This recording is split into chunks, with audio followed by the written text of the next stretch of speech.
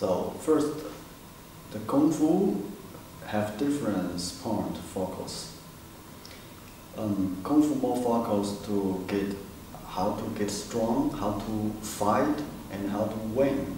But not everybody want. Not everybody want to be a fighter.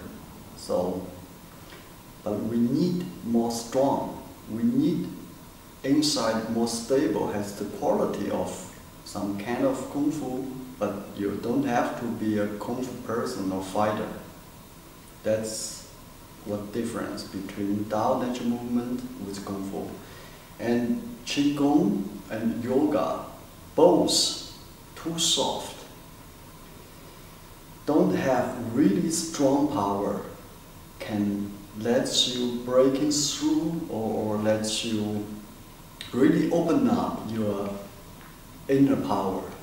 Lets you really can overcome your problems.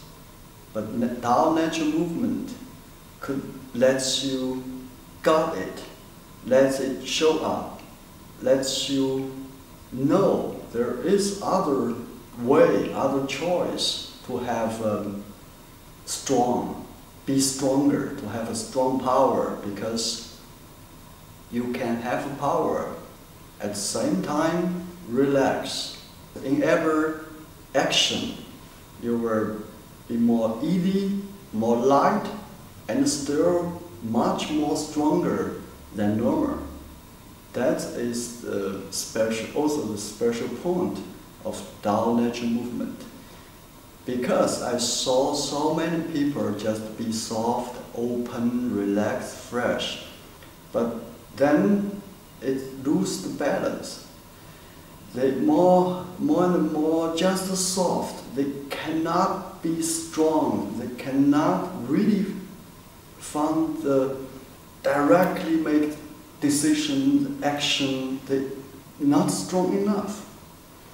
Not have the quality. You can really break your trouble, your problem, you can really overcome, you can really win because inside your inside have that strong power.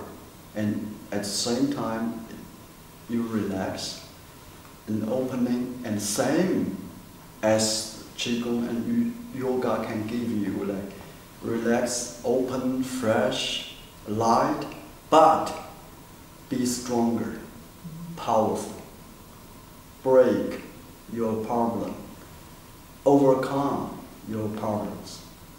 That's why, also why I create the Tao Nature movement.